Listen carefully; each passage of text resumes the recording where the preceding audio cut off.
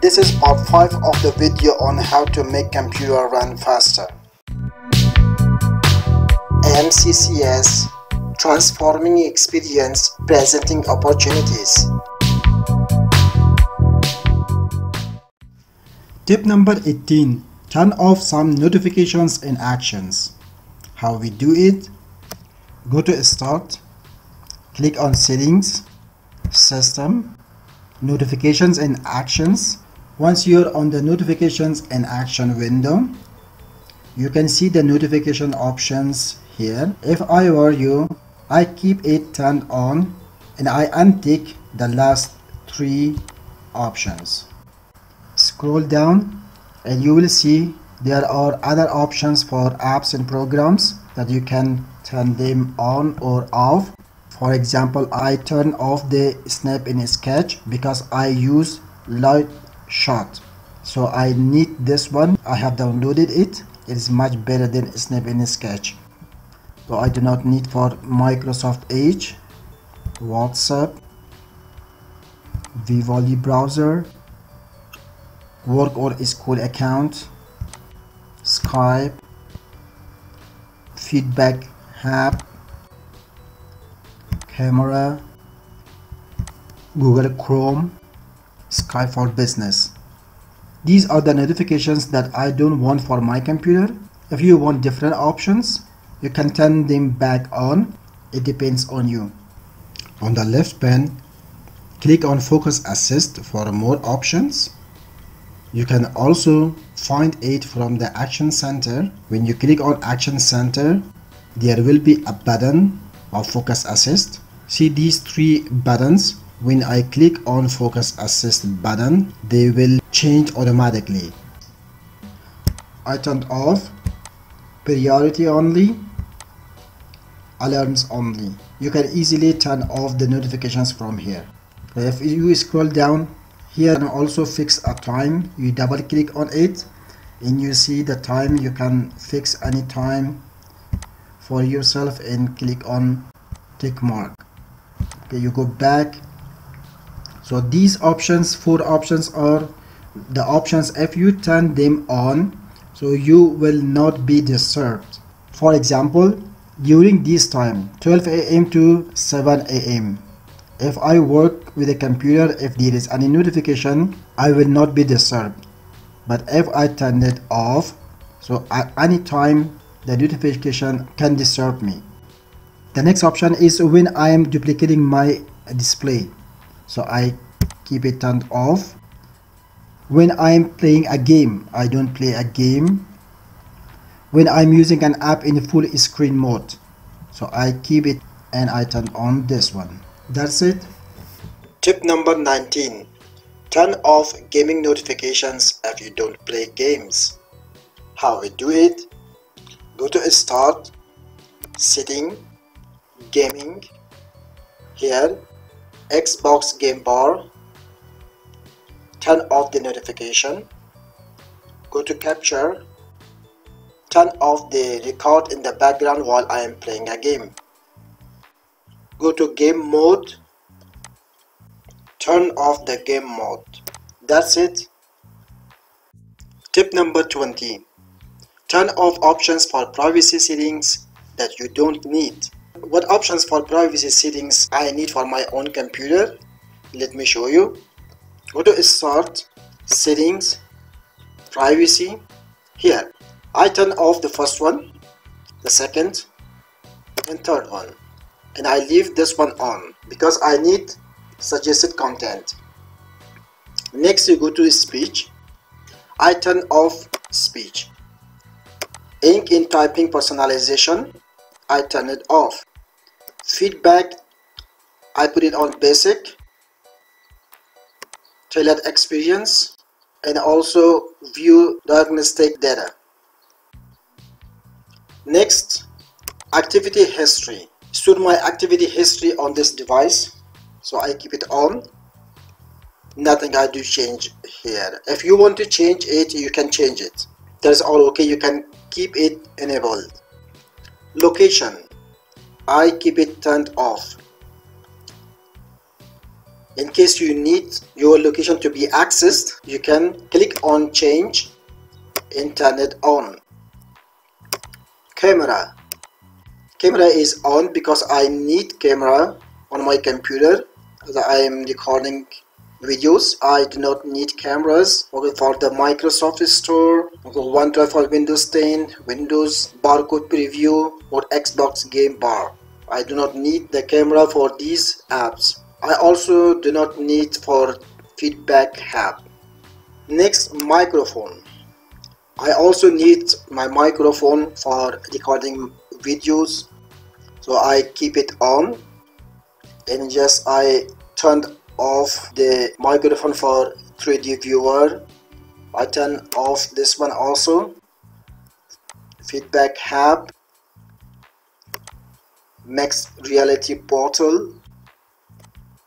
So any app that you do not want to use your microphone you can turn them off.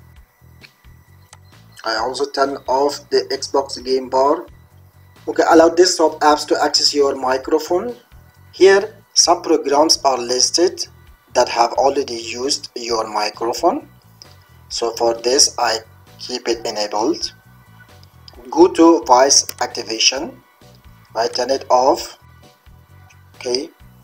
Account info account info is on so I turn it off. Next is contacts. For contacts I keep it on and I come down from the apps. I need for mail and calendar.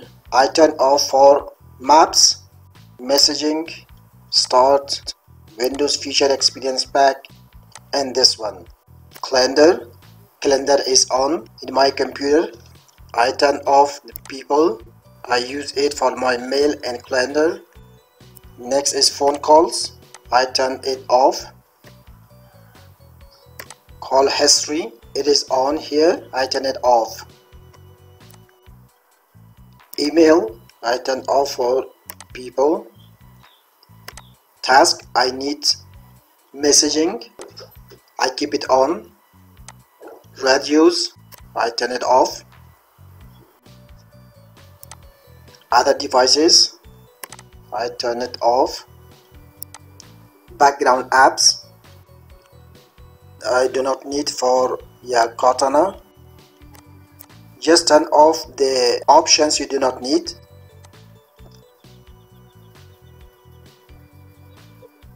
Next. App diagnostics I turn it off. For documents yeah it is all okay. I need them. I only turn off the feedback app. Pictures it is on. I turn off only for feedback app Snip and Sketch Windows feature and Xbox. Videos it is on I only turn off for Xbox game file system I keep it on. That's it guys. Once again I say that if any options that you do not want you can turn them off. Otherwise you can keep them enabled. Tip number 21 disable some services on Windows. What are services? Services on Windows are simply programs apps or system applications that run in the background while not being visible they also run in the background while your computer is idle and you are not using them. Kinds of services Mainly there are two kinds of services, Microsoft services and non-Microsoft services. Which services are safe to disable? It is recommended not to touch the services that come with Windows by default or that is from Microsoft. However, when you disable non-Microsoft services, your chances of missing something app on your computer are greatly reduced. Most of these third-party services don't necessarily need to be enabled. They are usually there to check for updates in the background or something similar. Furthermore, the safest setting for services is the manual one, and the services set this way start only if your system requires them. Disabling services should be done with care. In my opinion, if you don't know what a service on Windows is, then you really should not disable any service listed as Microsoft's Windows service. How do I manage the services on my computer? Let me show you. You go to start search bar, type services. On the top result, there will be services. Click on this. These are the services which are running in the background while not visible. Some of these services are manual, some of them are automatic, and some of them can be disabled if we want. If you see here, there is AnyDesk service. If I want to disable it, from here you can you see there is stop. If I click on stop, it is running now, it will be stopped. Now AnyDesk service is automatic because it is automatically running if I click on start it will start running again to disable it you double click on the service and you come down and you choose disable. Click on stop and click on apply and ok this is one method. The second method which is very easy to identify which services you should disable and which services you should not disable. And we will not miss up anything there. Close it. Go to search bar and type system configuration click on the top results. a small window will pop up like this before we're going to disable some services first of all i want to tell you something on the general tab on the general tab, this is the startup selection. Normal startup, diagnostic startup and selective startup. When we bring any changes, if we disable some services, this normal startup will automatically change to selective startup. Now let's see practically. Tap on services. First of all, you have to hide all Microsoft services. Make sure this is checked. Otherwise, you will mistakenly disable any Microsoft service which results errors while booting your computer. Now, these are the list of the services. If you want to stop them from running, it will positively impact on your computer performance. There will be a speed boost in your computer performance. So in my computer, I want to untick all of them. now once you untick all then you can click on apply and click on ok.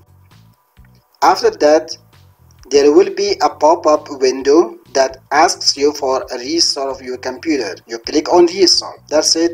Simply click on restart. Okay guys my computer is restarted. Let's go and check once again. I wanted to show you something on the startup selection general tab. Go to a search bar you can also write the word msconfig. There will be system configuration. Click on this. Now you see in general instead of normal startup there is selective startup. For my computer and for me it is all okay. If you don't want you can put a check mark on the normal startup and the services will automatically be checked. That's it guys hey guys do not forget to watch the other parts of the video which will for sure be very beneficial for you by searching our channel videos part 1 to 4 thanks for all your supports. Good luck